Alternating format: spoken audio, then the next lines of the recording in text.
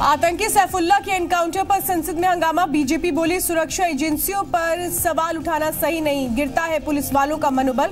गृह मंत्री बोले, सैफुल्ला के पिता पर गर्व। मध्य प्रदेश के शाहजहापुर ट्रेन ब्लास्ट मामले में संदिग्ध की तलाश जारी। कानपुर के जाजमऊ इलाके से फरार हुआ था गौस मोहम्मद खान।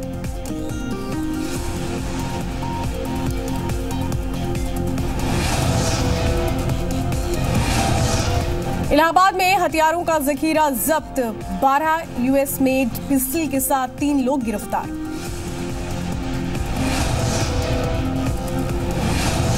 शाहजहांपुर में महिला दारोगा से गुंडागर्दी के आरोपी बीजेपी नेता का बेटा गिरफ़्तार। दारोगा ने कानून व्यवस्था को लेकर प्रधानमंत्री को लिखी थी चिट्ठी।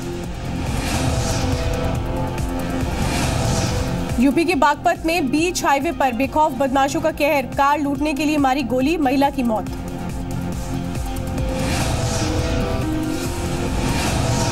यूपी और उत्तराखंड में एक एक सीटों पर वोटिंग जारी। अंबेडकर नगर की अलापुर और कर्णप्रयाग में डाले जा रहे हैं वोट।